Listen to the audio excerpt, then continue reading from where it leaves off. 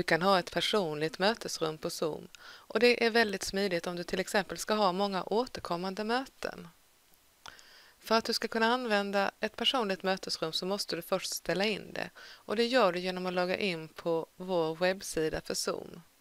Du klickar på Sign in och sen går du till din profil.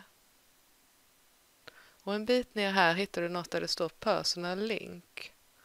Och här står det förmodligen ingenting hos dig, men hos mig är det redan inställt. Och du ställer in det här genom att klicka på Customize och sen så fyller du i den här rutan hur du vill att din adress ska sluta.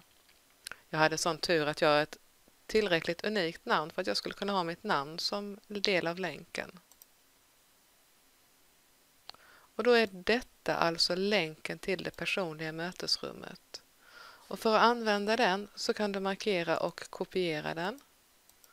Och sen kan du antingen skicka den på mail till dem du vill bjuda in eller om det ska vara i en kurs på Canvas så lägger du in det i kursen på Canvas. Jag väljer att gå till kursen och göra ett nytt meddelande. Och när jag har skrivit meddelandet så rullar jag ner en bit och klickar på spara.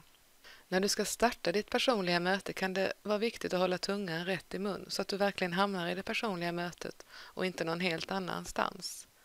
Är det som här inne på Canvas så kan det allra smidigaste vara att du själv också klickar på länken du la upp. Och eftersom att du är inloggad så kommer du hamna i rätt mötesrum. Det går också att starta det personliga mötet från Zoom-menyn när du är lärare.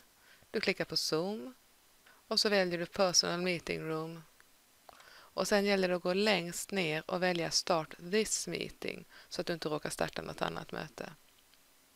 Eller så går du till webbsidan för Zoom och väljer My Meetings.